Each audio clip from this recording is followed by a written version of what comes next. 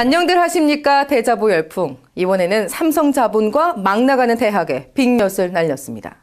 성균관대에서 대학의 실태를 고발하는 대자보 100일장이 열려 눈길을 끌었는데요. 삼성 자본에 휘둘리는 대학, 청소노동자들을 탄압하고 대자보를 떼어가는 대학, 그리고 등록금으로 장사하는 대학에 신랄한 비판이 이어졌습니다. 장원 급제는 중앙대 학생에게 돌아갔는데요. 오늘은 이 학생의 글로 뉴스를 마무리하도록 하겠습니다. 선생님, 대학 가면 내가 좋아하는 소설 마음껏 읽을 수 있다면서요. 이쁜 여자친구 사귀어서 커피 마시고 연극 보고 여행 가고 마음껏 웃을 수 있다면서요.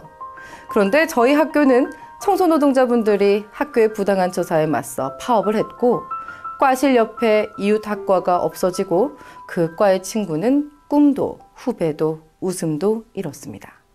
아니 빼앗겼습니다. 그 옆에서 저는 어떻게 해야 웃을 수 있습니까?